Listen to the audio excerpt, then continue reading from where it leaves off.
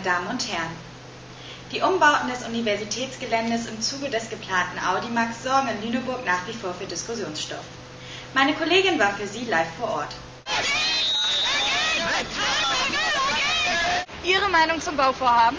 Also, die Meinung der Demonstranten ist unterstützungswürdig, wenn auch aufgrund der sicherlich schwierigen Situation fragwürdig und nicht endgültig reflektierbar. Die Demonstranten verhielten sich friedlich. Ausschreitungen gab es keine.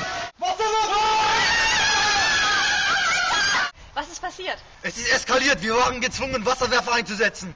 Ihre Meinung zum Veranstaltungsstreifen? Veranstaltungsstreifen finde ich ja total super. Etliche neue Locations zum Vorstellen in meiner neuen CD. Wir wollten ihn gerade runterholen und dann käme das Kommando Baustopp, weißt du? Da kannst du nichts machen. Jo, das ist voll nicht pießig mehr, das Ganze, ne? Das ist schon, ey, guck mal, das Tier, ne? Das Tier ist voll vom Aussterben bedroht. Das kannst du doch nicht bringen. Mann, ey. Kollateralschaden. Die Zukunft ist der Bahnhof. Sie meinen auf den Veranstaltungsstreifen? Whatever. Hier geht es immer noch drunter und drüber. Die Fronten sind verhärtet und es konnte noch keine Einigung erzielt werden. Und hiermit zurück nach Stuttgart. Im Hamburger Zoo wurde heute